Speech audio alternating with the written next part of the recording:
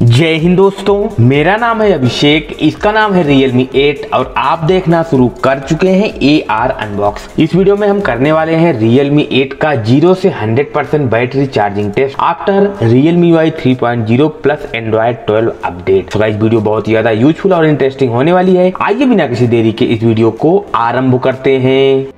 Battery charging test start करने से पहले कुछ स्पेसिफिकेशन के बारे में बात करें। Realme 8 में आपको 5000 मिली एम्पियर आवर की बैटरी और चार्जिंग के लिए आपको 30 वाट का डार्ट चार्जर मिलता है। चार्जिंग के टाइम पे हम इसका जो ऑफिशियल चार्जर जो बॉक्स में मिलता है, वही यूज़ करेंगे। साथ ही साथ जो चार्जिंग केबल होगी, वो भी जो चार्जर के साथ प्रोवाइड की जाती है, उसी को हम यूज़ करने वाले हैं। साथ ही साथ दोस्तों, एक बार हम डिवाइस का टेम्परेचर भी चेक कर लेते हैं।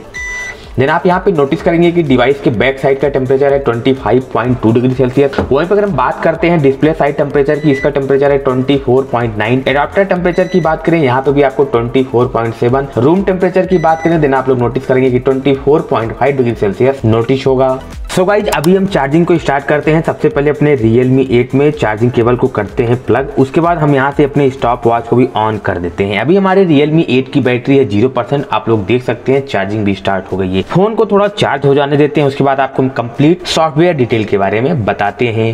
सो so, दोस्तों तीन मिनट की चार्जिंग के बाद Realme 8 पाँच परसेंट चार्ज हो चुका है। अभी आप लोग देख सकते हैं यहाँ पे आपको जो डेसिमल चार्जिंग है वो भी शो नहीं हो रहा है। बाकी हम बात करते हैं दोस्तों सॉफ्टवेयर डिटेल की। तो अभी हमने अपने Realme 8 में Realme UI 3.0 प्लस Android 12 का जो ओपन बीटा वर्जन था उसी को इंस्टॉल किया हुआ है। वहीं पर हम बात करते हैं सॉफ्टवेयर वर्जन की तो सी मिल जाएगा। बाकी हम दिखा देते हैं कि बैकग्राउंड में जितने भी एप्लीकेशन यहाँ पे रन कर रहे थे हमने सबको क्लियर कर दिया है। साथ ही साथ दोस्तों हमारे फ़ोन का मोबाइल डाटा वाईफाई ब्लूटूथ सब कुछ ऑफ़ रहने वाला है। और हम फ़ोन के डिस्प्ले को भी ऑफ़ करके चार्ज करेंगे। सो गाइज़ Realme 8 को चार्जिंग में प्लग किए हुए 30 मिनट कंप्लीट हो चुके हैं और 30 मिनट की चार्जिंग के बाद Realme 8 चार्ज हुआ है 59 यानी उनसठ परसेंट साथ ही साथ मैं आपको बता दूँ कि यहाँ पे कोई हीटिंग भी नोटिस नहीं हो रही है। अभी मैं आपको आगे टेम्परेचर चेक करवाने वाला हूँ। और सेटिंग सेक्शन में जाकर अगर हम बैटरी सेक्शन को ओपन करते हैं देन आप लोग यहाँ पे भी देखेंगे की कोई भी आपको वार्निंग शो नहीं हुई है हीटिंग वगैरह से रिलेटेड बाकी दोस्तों, एक बार मैं आपको यहाँ पे डिवाइस का टेम्परेचर भी चेक करवा देता हूँ। देन आप लोग नोटिस करेंगे कि थोड़ा सा temperature increase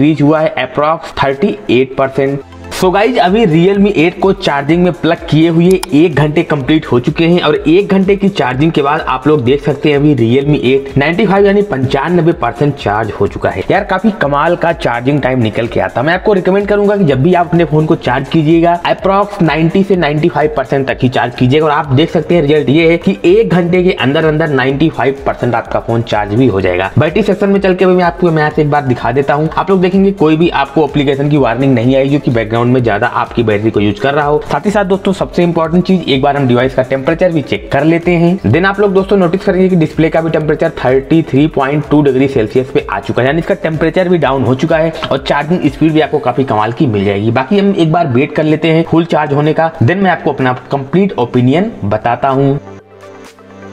so guys finally एक घंटे 18 मिनट 15 सेकंड के बाद Realme 8 Realme UI 3.0 अपडेट के बाद ज़ीरो से 100 परसेंट चार्ज हो चुका है। यहाँ मैं आपको बताऊँ कि 95 परसेंट तक एक घंटे में चार्ज हो जाता है। लास्ट का 5 परसेंट चार्ज होने में 18 मिनट 15 सेकंड यहाँ पे टाइम लग जाता है। बाकी मैंने आपको ऑलरेडी बताया कि रिकमेंड करूँगा 95 परसेंट तक ही फ़ोन को चार्ज करो। डिवाइस के टेम्परेचर की बात अगर हम करते हैं तो आप लोग नोटिस करेंगे कि डिवाइस का जो टेम्परेचर है थर्टी डिग्री सेल्सियस आपको डिस्प्ले टेम्परेचर नोटिस होगा। बॉटम साइड टेम्परेचर की बात करते हैं आपको अप्रॉक्स 33 डिग्री सेल्सियस वहीं पे अगर हम बात करते हैं दोस्तों एडाप्टर के टेम्परेचर की, इसका भी टेम्परेचर आपको 34.4 डिग्री सेल्सियस नोटिस होगा।